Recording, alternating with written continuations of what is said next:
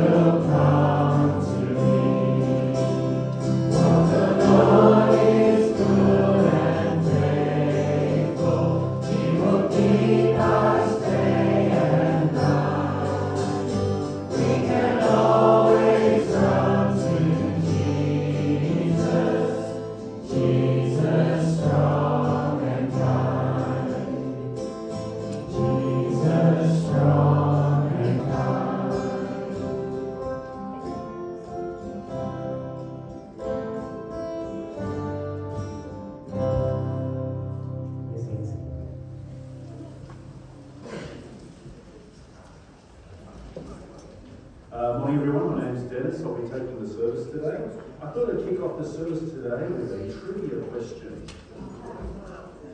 Um, here we go. I want everyone in the room to think of this number. How many times is God referred to as Father in the book of John? I'll give you five seconds, you've got to come up with a number. How many times is God referred to as Father in the book of John? Don't use your phones either, you dirty Jews.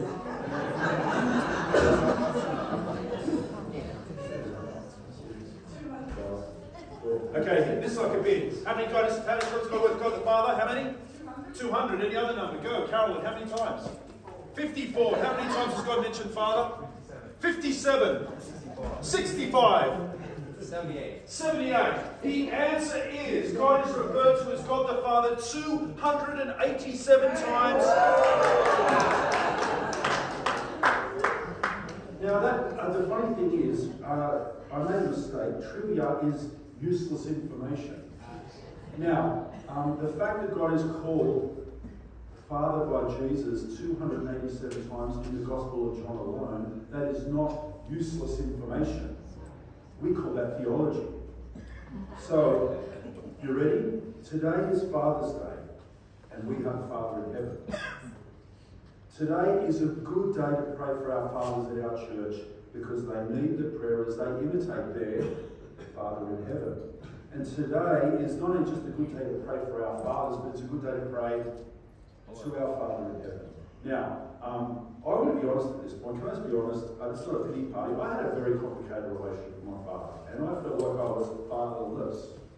But many years ago, I discovered that I have a Father in heaven, and I can't tell you how much that changed my life. And uh, we have a confession. Often fathers and sons disagree. Now, our Father in heaven does nothing wrong. It's us that's the problem, yeah? Now, here's a confession. This is a great confession because you can see from the first paragraph, it tells us that through the death of Jesus, no matter what nationality you are, no matter what gender you are, we are all adopted as the children of God. So suck in, we are family, we're spending eternity together. But because we have a Father in heaven and we are rebellious children, it is good to apologise to our Father before to any teaching or do anything else, don't you think?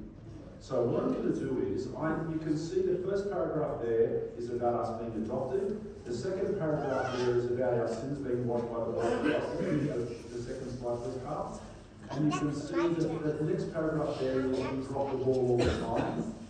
And I love the last paragraph. We're not just asking for forgiveness in the confession, we're also asking for God to change us because Lord knows we can't change ourselves. So this is an ace confession. If you go back to being Carl, I'm going to I'm going to close my eyes for a few moments. I invite you to do the same. I want you to recall the week and recall every stupid mistake you did and the things you regret. Because what you're going to do in a moment is you're going to confess your sins. You're going to lay them at the foot of the cross and they're going to be gone. And you walk out the door after church, you can start afresh because we've got a good Father, excellent Father. So I'm going to pause, we're going to reflect, we're going to apologise to our dad, and our dad's going to tell us some good things like you are forgiven. So I'll pause and we'll pray together.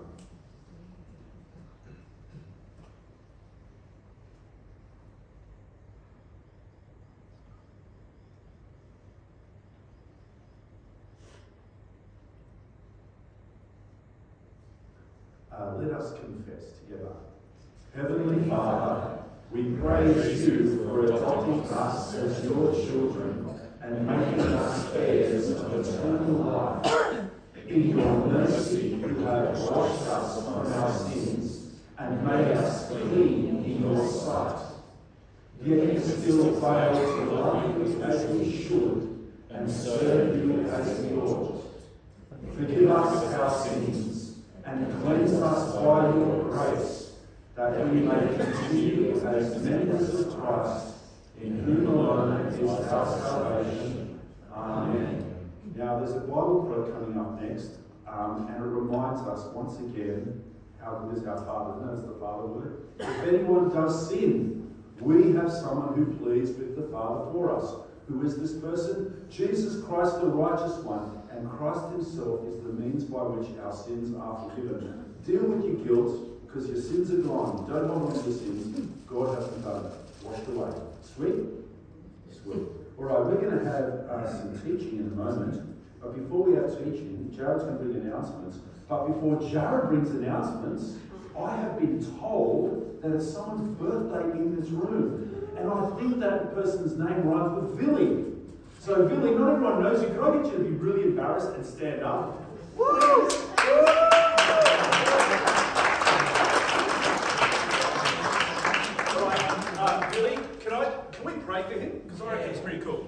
Billy, I'm I'm going to pray for you publicly. Let's let's pray for our brother.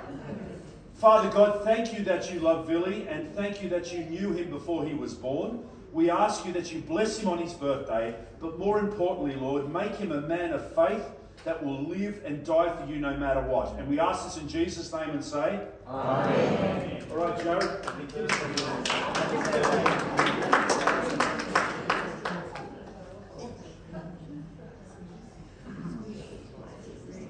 Hello, good morning, church.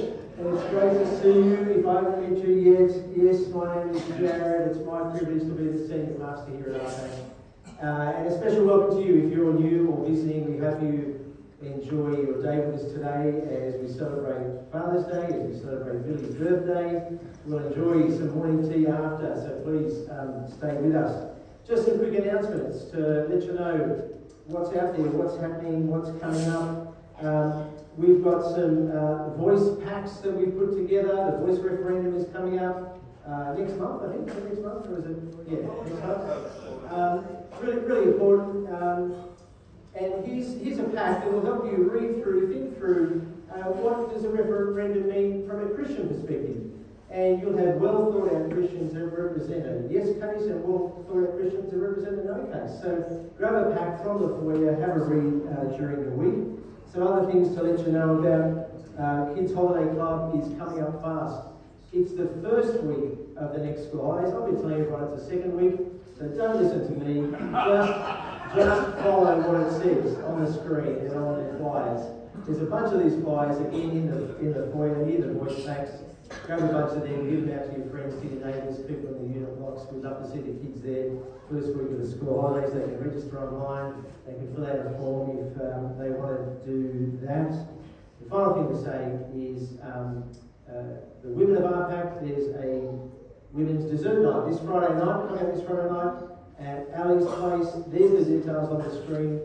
Um, ladies, if you want to get to know other women of RPAC, growing your friendship here at RPAC, get along this um, Friday night. Can you please uh, remember some people in your prayers this week, um, especially the family of Margaret Hamilton. Some of our longer term members will have known Margaret. Margaret passed away during the week. There's a funeral for her this week. The family would really appreciate your prayers for them as a family and uh, her dear friends here at RPAC too. I know that they too would love your uh, prayers.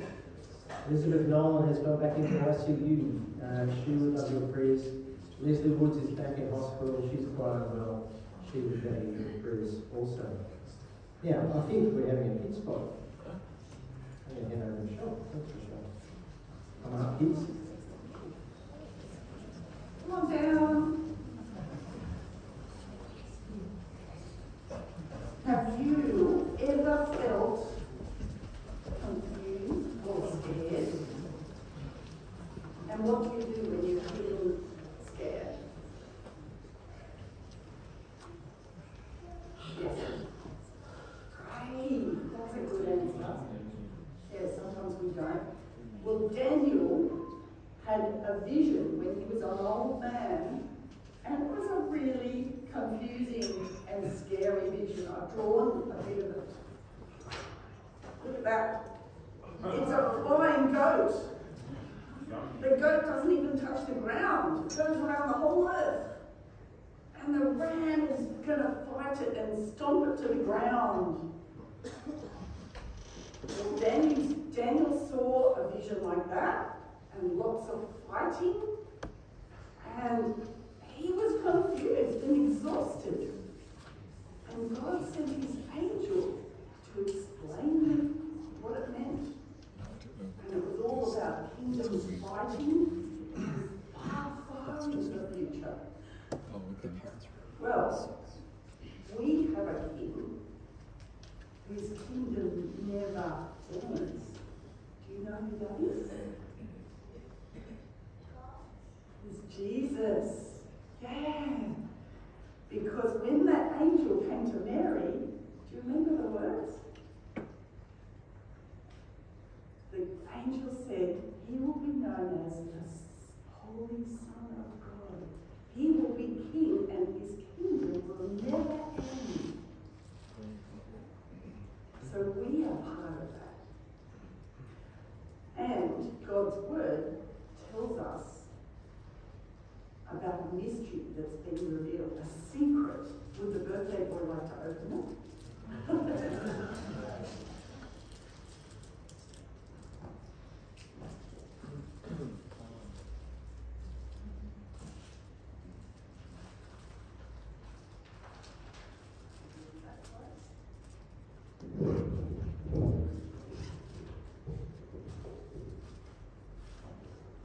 It's your eyes. That's okay. For ages and ages, this message was kept secret from everyone but now it has been explained to God's people. And the mystery is that Christ lives in you and he is your hope in God's glory. So we know a mystery that even Daniel didn't know because we have the news about Jesus. And Jesus' words to us. Would you like to read that? Peace and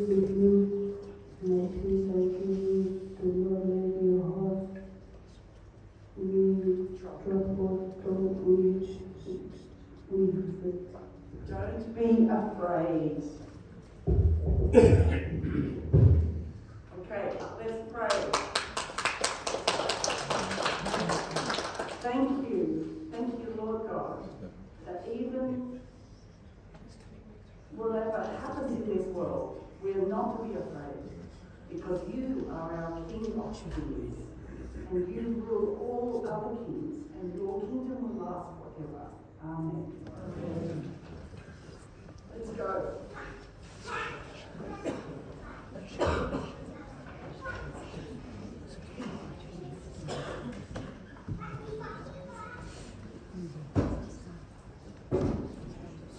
Uh, please take up your Bibles as we have the Bible reading.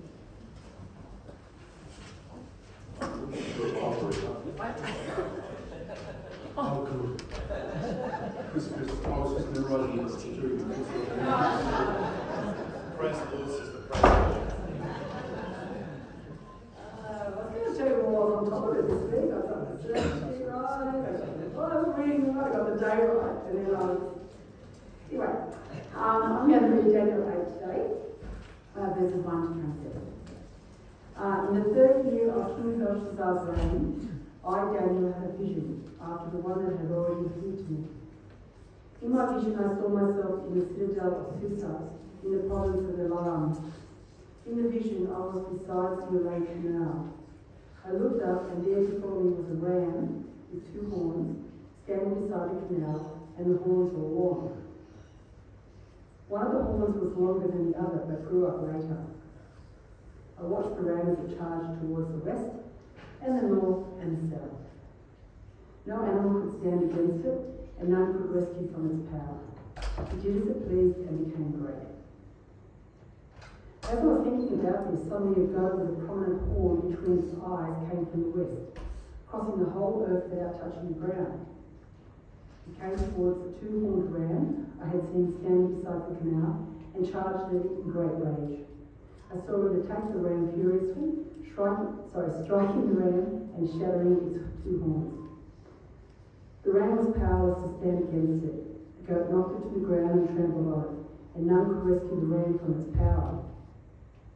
The goat became very great, but at the height of its power, the large horn was broken off, and in its place four prominent horns grew up towards the four winds of heaven. Out of one came another horn, which started small but grew in power to the south and to the east and towards the beautiful land. It grew until it reached the host of the heavens, and it threw some of the starry host down to the earth and trampled on them. It set itself up as to be great as the commander of the army of the Lord. It took away the daily sacrifice from the Lord, and his sanctuary was thrown down. Because of rebellion, the Lord's people and the daily sacrifice were given over to it. It prospered in everything he did, and the truth was thrown to the ground. Then I heard a Holy One speaking, and another Holy One said to him, How long will it take for the vision to be fulfilled? The vision concerning the daily sacrifice, the rebellion that caused desolation, the surrender of the sanctuary, and the trampling of the Lord's people. He said to me, It will take 2,300 evenings and mornings. Then the sanctuary will be reconsecrated. While I, Daniel, was watching the vision and trying to understand it, there before me stood one who looked like a man. I heard a man's voice from the Ulai called Gabriel, tell man the meaning of the vision. As he came near the place where I was standing, I was terrified and fell prostrate. Son of man, he said to me, understand that the vision concerns the time of the end. While he was speaking to me, I was in deep sleep, with my face to the ground, and he touched me and raised me to my feet. He said, I am going to tell you what will happen later in the time of wrath, because the vision concerns the appointed time of the end. The two horned ram that you saw represents the kings of Media and Persia. The shaggy goat is the king of Greece, and the large horn between its eyes is the first king. The four horns that replace the one that was broken off represent four kingdoms that will emerge from his nation, but will not have the same power. In the latter part of their reign, when rebels have become completely wicked, a fearful king, a master of intrigue, will rise. He will become very strong, and not by his own power. He will cause astounding devastation and will succeed in whatever he does. He will destroy those who are mighty, the holy people. He will cause deceit to prosper, and he will consider himself superior. When they feel secure, he will destroy many and take his stand against the prince of princes. Yet he will be destroyed, but not by human power. The vision of the evenings and mornings that has been given you is true, but seal off the vision, for it concerns the distant future. I, Daniel, was worn out. I lay exhausted for several days. Then I got up and went about the community business. I was appalled by the vision, it was beyond understanding.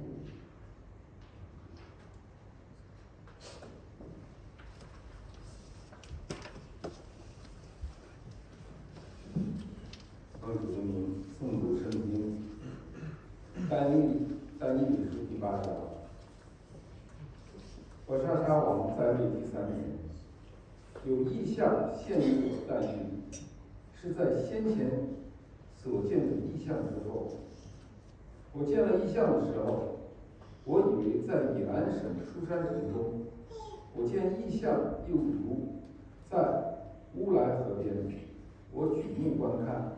见有双脚的公绵羊站在河边，两脚都高，这脚高过那脚，更高的是后脚。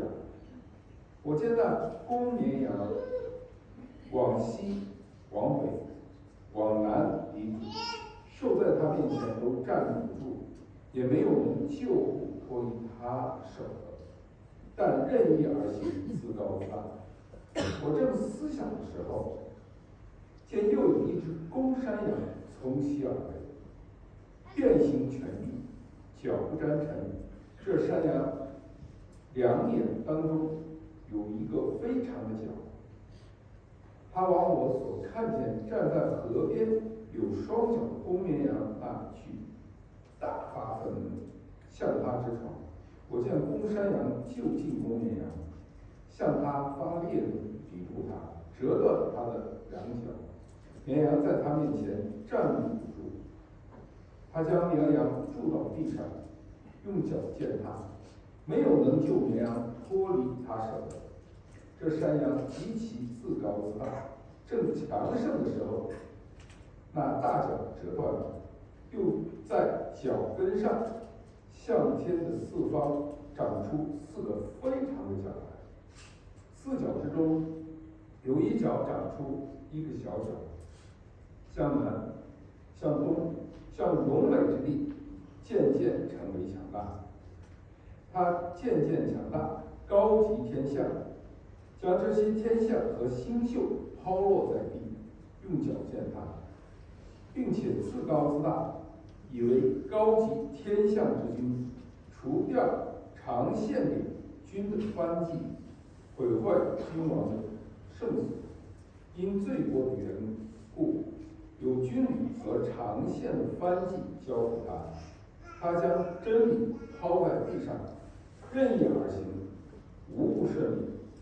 我听见有一位圣者说话，又有一位圣者问那说话的圣者说：“这除掉长线的藩记和实行毁坏的罪过，将圣所以军旅践踏的意象，要到几时才应验呢？”他对我说：“到二千三百日，圣所就必接近。我但以理见证意象，愿意明白其中的意思。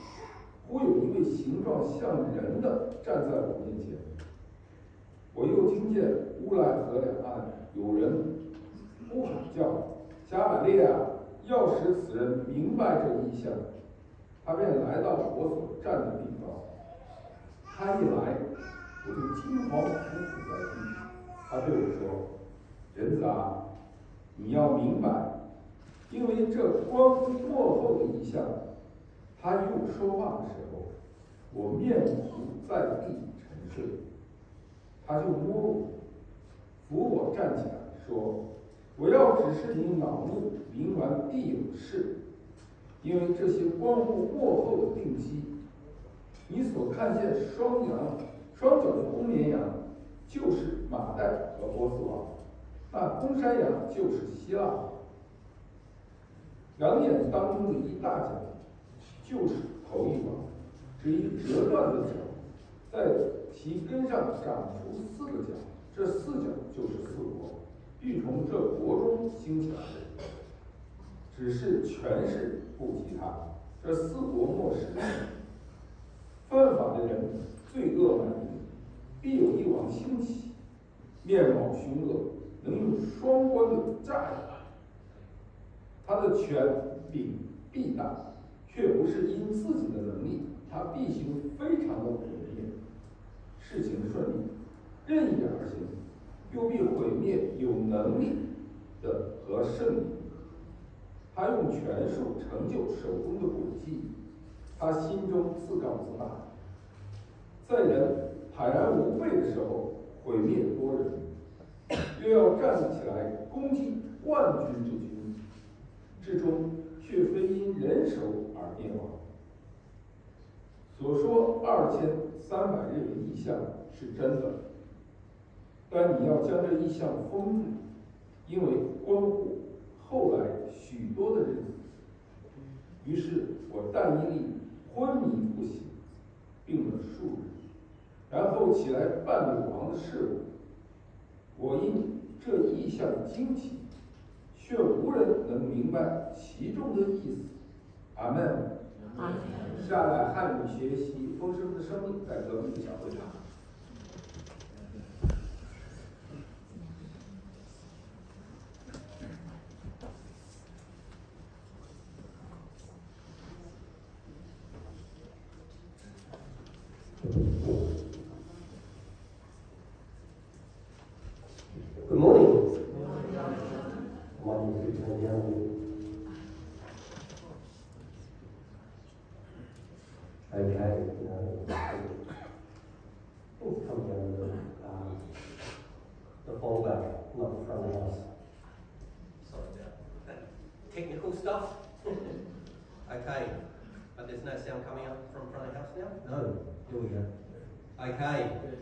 That sound a bit better?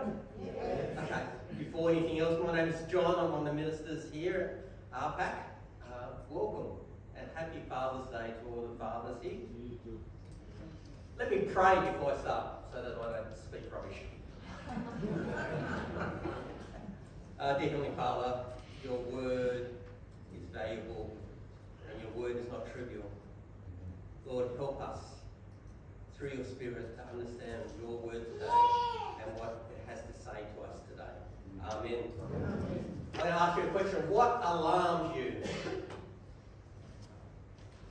What alarms you? When we look at our world, here's our world.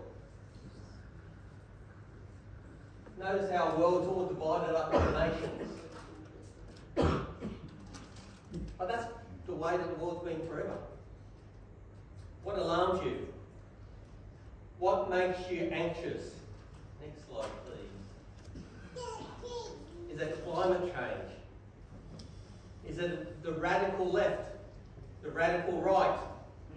War, famine? Gender issues? What alarms you about our world? Then we look at men and the people that we have in charge that's meant to deal with these. How does this make you feel? Are you more anxious now?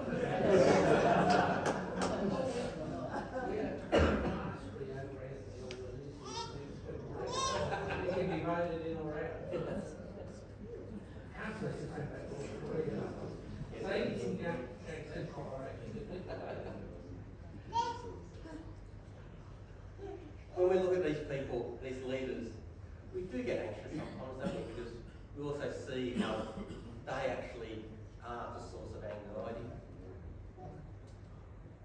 My friends, today in the book of Daniel, today's passage actually speaks into our concerns, our fears, our anxiety caused by this chaotic world, caused by leaders and kings. And does this by showing us a view of reality which can only be seen from God's perspective, from the heavenly realms. For it spans a large amount of time. It's more than a lifetime. It's bigger than we are. And I think anytime we see the heavenly realms, remember that. Our little bit of time on earth, our little bit of perspective here in Sydney 2023 is really small, but God goes, No, I am the God of eternity. Let me show you something. And as being said, Daniel is a book full of strange language, full of imagery. It causes confusion and causes lots of debate. But today, we're fortunate because, yes, it's got strange imagery, but it also has an interpretation. It tells us what it means. But the other thing that we have now, we've got history. We've seen what's happened. And because of that, we actually have a clearer understanding of Daniel's vision than Daniel ever did. So let's get into the passage. So, time and place. So, Daniel 7, and Daniel 8, we actually go back in time, don't we? So, King Belshazzar is now still king before the writing on the wall, before he gets killed. Chapter 7 was his first year. Uh, uh, first year of his reign. Chapter 8 is third year. So it's been two years between those two uh, visions. And Daniel is now in his vision standing in the city of Susa, in the citadel of Susa, which history tells us is 200 miles east of Babylon. But here's the interesting thing. Susa was a no nothing town until Darius the first who came after Cyrus, who came, who came after the Jews were returned back to Jerusalem after the exile. So this city where Daniel's standing is yet to exist or in its prominence. But Susa is important because Susa was the capital of Persia. And Darius made it that way. So what we're going to see today is Daniel's future, our past, and also the Babylonians have little to do with today's vision. And what we're actually seeing today is we see prophecy and we see fulfillment. And I want you guys to know God's word is true. What he says happens. Okay, Daniel's vision. We have a ram and a goat. The ram has two horns, but one horn became longer than the other. So in verse 20, we know that the ram represents the nations of Media and uh, Persia. So the Medo-Persian Empire that will defeat Babylon. And we know from history that the Persian king Cyrus II started as a vassal king. He was actually under the Median king. But he grew in power, grew in power, then overthrew Media. So hence, at a later stage, that horn grew bigger. And out of the Medo-Persians, the Persians are most feared and most remembered. Who remembers the movie 3000, uh, 300? You know, Sparta. Guess who they were fighting? The Persians. Okay. So Media and Persia became one empire under Cyrus. It grew into a superpower. It defeats Babylon, kicks them out, and the Persian Empire expands west, north, and south, and no one can stop them. This Persian Empire lasted for 219 years. Okay, then what happened? Daniel sees a goat, one with a big horn in the middle of its forehead, between his eyes, coming from the west. Crossing the whole earth without touching the ground, it came fast and totally destroys the ram. So from verse 21, we know that the goat is the king of Greece. And the goat with its large single horn in the center of his eye represents that first king of Greece. And this king was great. Again, from history, we know this king to be Alexander the Great. In 331 BC, Alexander defeats Darius of Persia. And then the Persian Empire is taken over. And history tells us that Alexander the Great started his reign in 331. See that little uh, orange bit called Macedon? That was what Alexander the Great ruled. And don't ever have this conversation with a Greek or Macedonian. okay, so this is what they ruled. In the next 13 years, this is what happened. See the, or, the yellow and green bits? See that little uh, yellow bit in the top left, uh, your top, yeah, your left-hand corner? that was Macedon. Alexander the Great conquers all that territory, all the way through to India, conquers Egypt.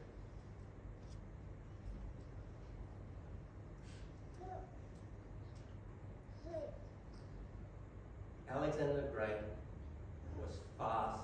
His feet never touched the ground. And he became great. Very great.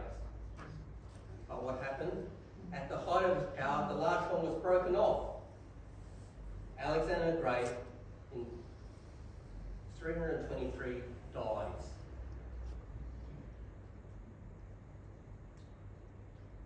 So after Al, so the sheep on your left, the, the goat on your left has one horn. The next vision is the middle one. So after the big horn was taken off, in its place, four prominent horns grew up towards the four winds of heaven. And from verse 22, we know that Alexander died, and now his huge kingdom gets divided into four. And we also know from history that his kingdom was never as strong as when Alexander the Great ruled it. It's a divided kingdom. Yes, I can give you names and dates, but I'll spare you that. So these four horns are four rulers of the four regions of the Greek Empire. But from verse 8 and verse 23, now we're looking at the, uh, it goes on, on our right. We see that one of these horns that starts small and grows. Verse 23 actually tells us it's the later, later part of the reign, near the end of the Greek Empire. This horn rises up. Let me read it to you, verse 23. In the later part of the reign, their reign, when the rebels have become completely wicked, a stern-faced king, a master of intrigue, will arise. He will become very strong, but not by, but not by his own power. He will cause astounding devastation. He will succeed whatever he does. He will destroy the mighty men and the holy people. He will cause the seat uh, to prosper, and he will consider himself superior. When they, when they feel secure, he will destroy many and take his stand against the prince of princes. Oh. history tells us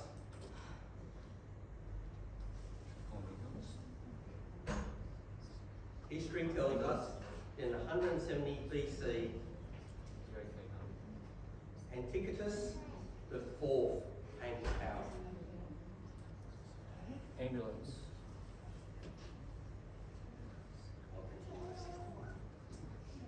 Uh, Antiochus New South Wales? Power, and he ruled Juda, uh, Ju- uh, Judea and the Jewish people. And this king was hell bent to make everyone Greek.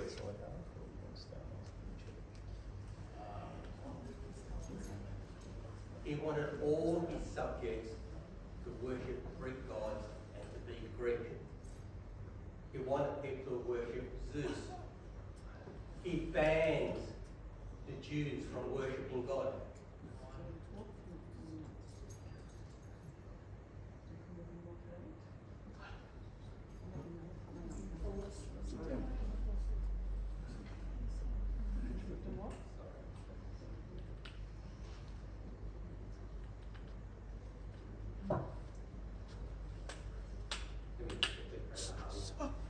Carter,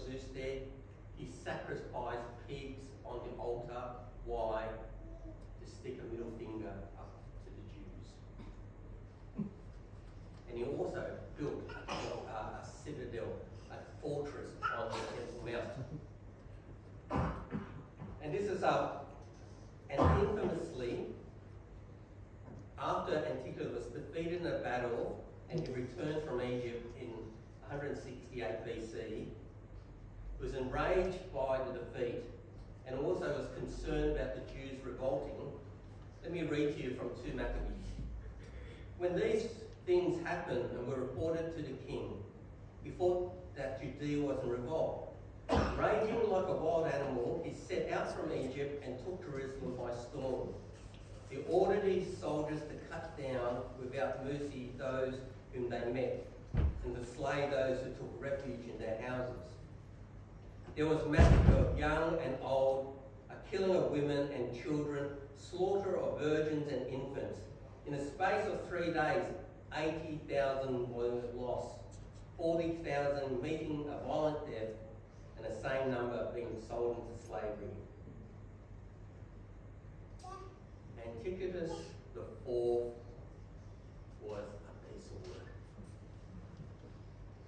And what happened to him? In 164 BC, he dies. And in the Jewish writing, the Jewish people consider that his death was the work of God. The all death is the work of God. ends this vision of the goat and the ram. And then Daniel was told to seal it up because it's his distant future. The fulfillment of the vision actually started in Daniel's lifetime, but it ends 380 years later. Just think about that time, hmm. time frame. The first fleet landed in Australia in 1787, which was only 232 years ago. This is longer than that. I don't know about you, but I have sympathy for Daniel. Help.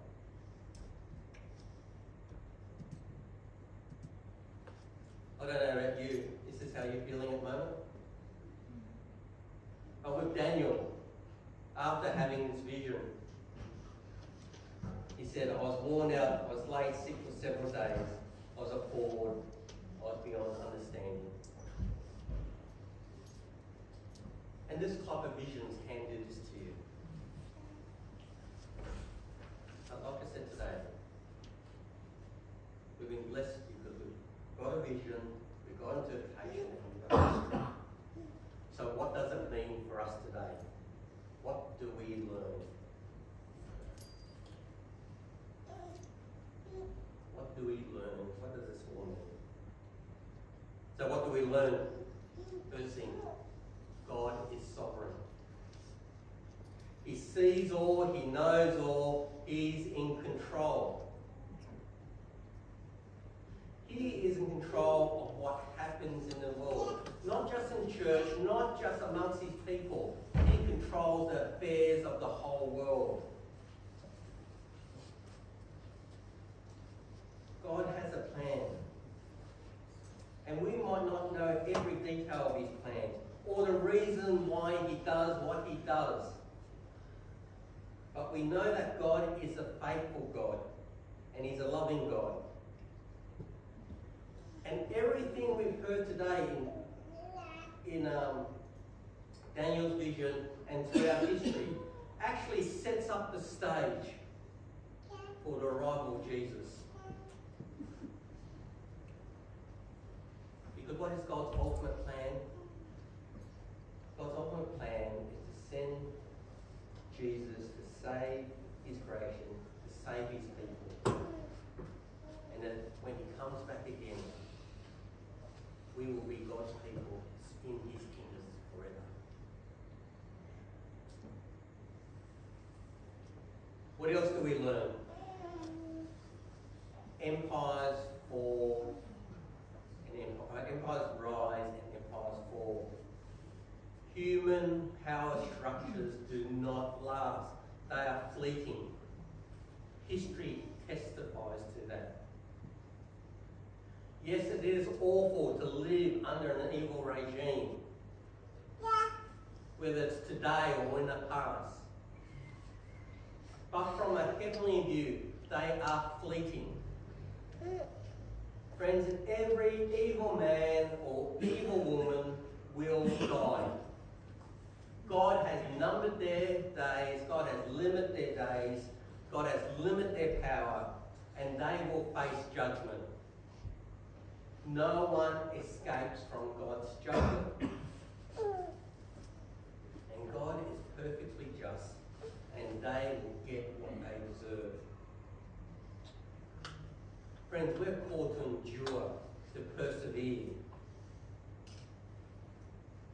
You need to only be on this earth for five minutes to know that there is suffering. The whole world suffers. But we as Christians, we've got an extra suffering. We'll suffer because we believe in Jesus. But what today teaches us, what Daniel teaches the suffering will not last. It's fleeting.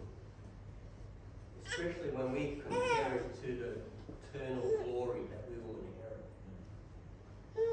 Friends, suffering is fleeting. And lastly, what do we learn? Our King, our King, is the King of kings and the Lord of lords. We read this last week in Daniel 7. Spoke about a man the Son of Man coming with the clouds of heaven. He was given authority, glory, and sovereign power. All people, nations, and men of every nation worshipped him. His dominion is an everlasting dominion that will not pass away. His kingdom is one that will, never be destroyed. Our King. Kingdom will never end. His dominion will never pass away. We do not trust in human kings, in human princes, in human power. Our trust is in a king. A king that all kings will answer to. And our king's kingdom will never end. So when we are anxious, God knows what's happening. God is there when people are suffering. He knows. He is in control. He has a plan. But know this, because the Bible tells us He loves us. We might not understand why it's happening, but we need to trust in God. He is. And when we look at our leaders, we must remember God has placed them there. He has his reasons. And when we look at those things, oh, I don't know why. But God has his reasons, even though we can't see why. I know this God has numbered their days. I'll just go looking, uh, Googling Putin and uh, Joe Biden. Both men in their 70s. And like was told today, Albanese is only safe to the next election. God has numbered the days. They won't rule forever. They will all die and face judgment and they'll be held to account for what they've done. There is no escape.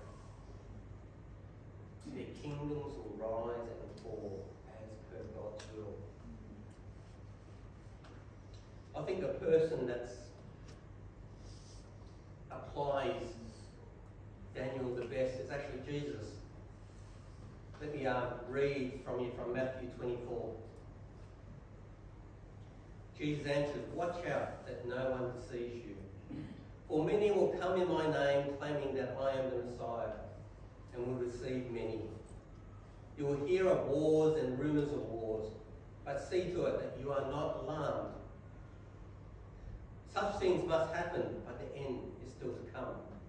Nation will rise against nation, kingdom against kingdom. There will be famines and earthquakes in various places. All these are the beginning of the birth pains. Then you will be handed over and to be persecuted and put to death, and you will be hated by all nations because of me. And at that time, many will turn away from the faith, will betray and hate each other.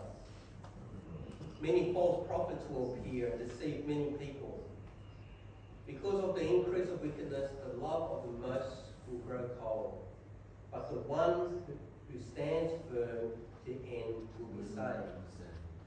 And the gospel of the kingdom will be preached in the whole world as a testimony to all nations. And then the end will come. Friends, when we face this chaotic world, don't be alarmed. Let's stand firm in Jesus, in whom we are saved.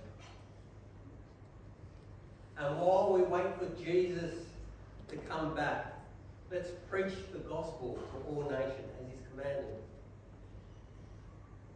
knowing that the days of this earth is numbered. Let me pray. Heavenly Father, there's many hard things that we've heard today. And Lord, help us to trust in you. Mm. Help us to trust in your sovereignty. Help us to rely on the only King that has dominion forever and ever. And that's our Lord and Saviour, Jesus.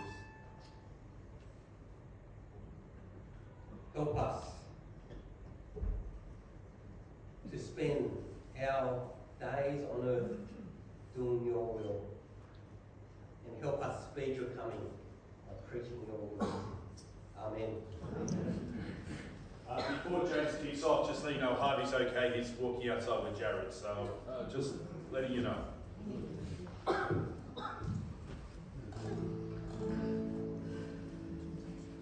It's going to sing Grace Alone. He's going to sing us.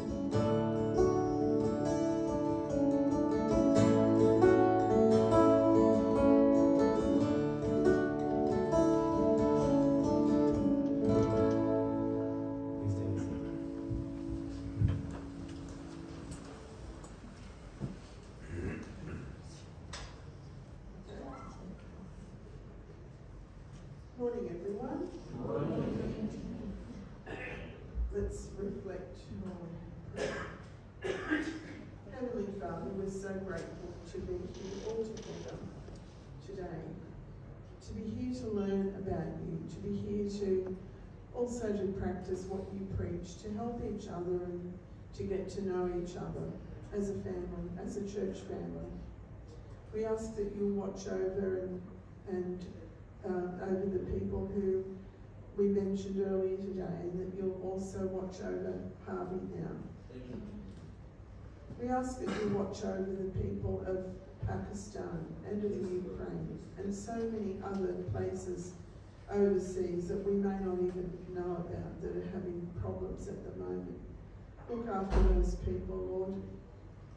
We ask that you also watch over the people in our own country, people who are having problems in terms of um, cost of living and also our farmers that are having their own problems in terms of climate change, in terms of um, alternate power issues that may take them off the land and that will affect us and we ask that you'll pray for that. That, that you'll look after all of those farmers and all of us too that um, are going to have the same issues of cost of living, of other issues in our own areas, housing, etc.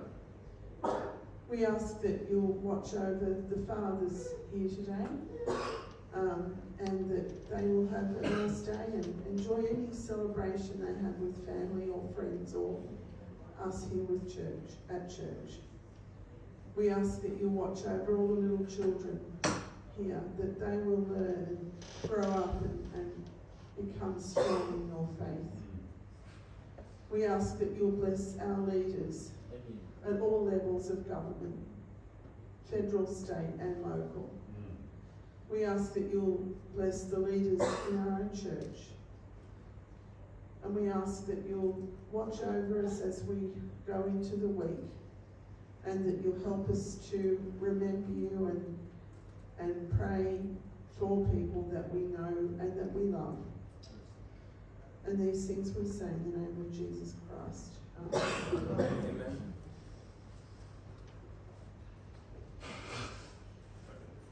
Um, in a moment, there'll be the Lord's Prayer, and I given we're the family of God and it's Father's Day, we should pray uh, the Our Father. So if you're happy to join teaching our Father in heaven, please pray with me. Our Father in heaven, hallowed be your name. Your kingdom come, your will be done on earth as in heaven. Give us today our daily bread.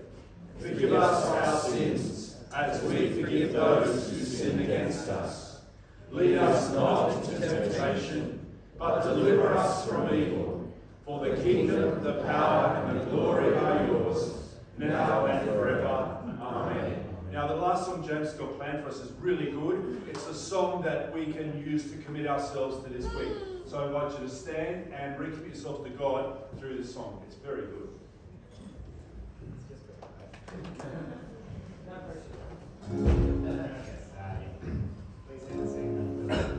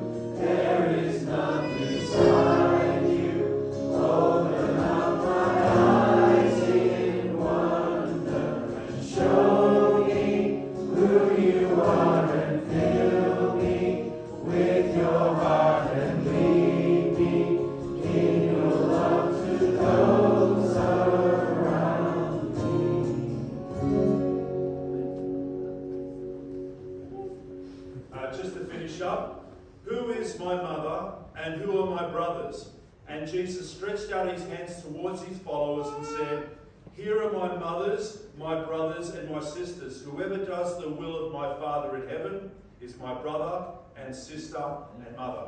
Walk out that door and do your Father in heaven proud for the next seven days at least, and I'll see you next week. Take care.